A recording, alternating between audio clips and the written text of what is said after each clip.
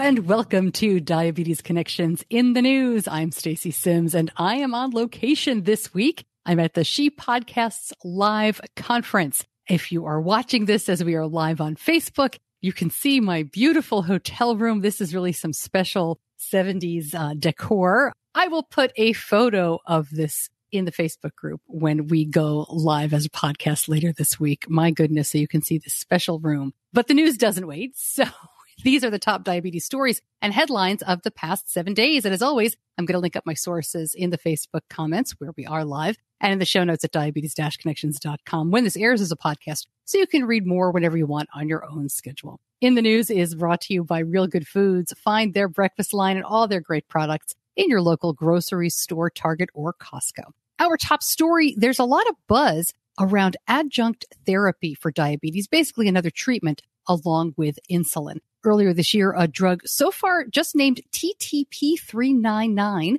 got FDA breakthrough therapy approval. A new study shows it works well to keep people with type 1 out of DKA. This was a small study, 23 people, but they found that TTP 399 can help lower blood glucose without increasing the risk of DKA. It's important because other adjunct therapies such as SGLT2 inhibitors do help lower blood glucose, but the FDA said they cause too much of a risk of DKA in people with type 1. Those are brand names like Invokana and Jardiance. Pivotal trials of TTP 399 begin later this year. New partnership announced today, Dexcom and Garmin. You will still need your phone. I know you were going to ask, but with the new Dexcom Connect IQ apps, you can now see your Dexcom G6 info on your compatible Garmin smartwatch or cycling computer. Jake Leach, Chief Technology Officer at Dexcom, says Garmin is the first partner to connect through the real-time API, which we told you about a few months back. Basically, you're going to start seeing more connectivity with different items like this, different products, without having to use a third party community sourced workaround, which a lot of people already do right now. The name here is interesting, right? Connect IQ, very similar to Tandem's Control IQ. But since Dexcom owns a bit of Tandem, maybe that's no coincidence. I've requested an interview with Dexcom. Maybe we'll find out.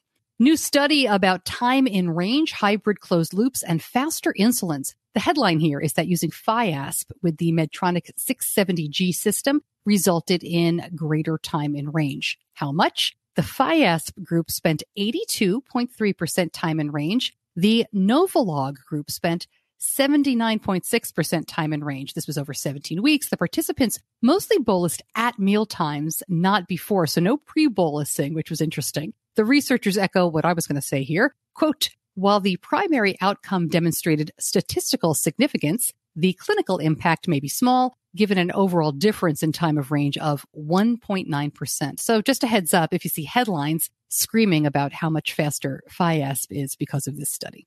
This one is interesting. People who have tried a psychedelic drug at least once in their lifetime have lower odds of heart disease and diabetes. This is a University of Oxford study published in Scientific Reports. These researchers examined data from more than 375,000 Americans who had taken part in an annual survey sponsored by the U.S. Department of Health and Human Services. Participants reported whether they had ever used the classic psychedelic substances, including LSD, mescaline, peyote, or psilocybin. They also reported whether they had been diagnosed with heart disease or diabetes in the past year. The researchers found the prevalence of both conditions was lower among psychedelic drug users. While no one is recommending you start taking mushrooms to avoid diabetes, there is a growing push to start serious research to investigate any link between psychedelics and cardio metabolic health. Got an update on the once a week basal insulin I've been reporting on for a while. Both Lilly and Novo Nordisk are testing their own version of this. The most recent study looks at the Lilly version called tirzepatide. These researchers found it to be safe and effective with lower rates of hypoglycemia and slightly lower A1Cs than daily basals like Lantus or Tresiba. A lot of studies ongoing here for both brands of potential once a week dosing, including a large phase two program that includes people with type 1.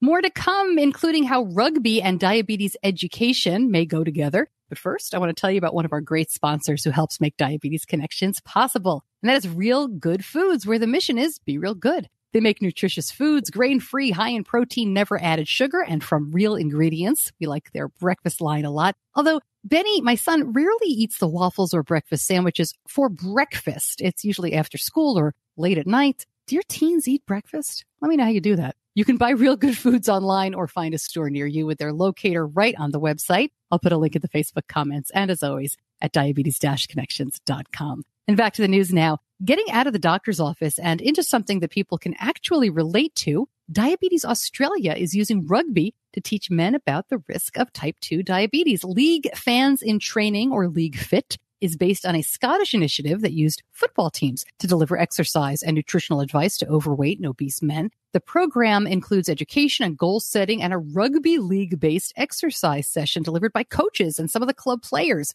What I really like about this is that from what I can tell, they're focusing on small changes. I'm not telling these guys to give up everything they like to eat and drink or that they have to become professional players to get a little bit more fit. Imagine if NFL players had a clinic for fans to come and learn a little bit about fitness and nutrition. Again, not to be pros, just to live a little better and lower the risks of type 2.